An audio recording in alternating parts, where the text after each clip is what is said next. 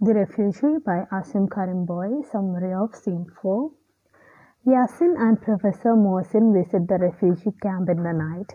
Yasin has taken the professor as a friend. He says he wants to find out his conscience. The terrible scenes in the camp strike deep sorrow in his mind. Still, he is not able to find his conscience. They meet Ramul in the drain pipe. Ramul is acting the role of judge and executioner. They are right there are eight Hindus among every ten refugees. The Muslims may be spies. He calls him one and pronounces doom on him. Yasin jumps forward and questions him. Ramul charges Yasin with treachery. He has not come to the refugee camp. He may be a spy of Pakistan.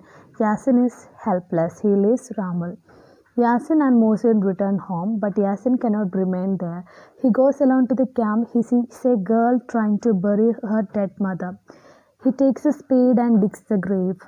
This has changed Yasin. He has discovered his conscience. He cannot be passive anymore.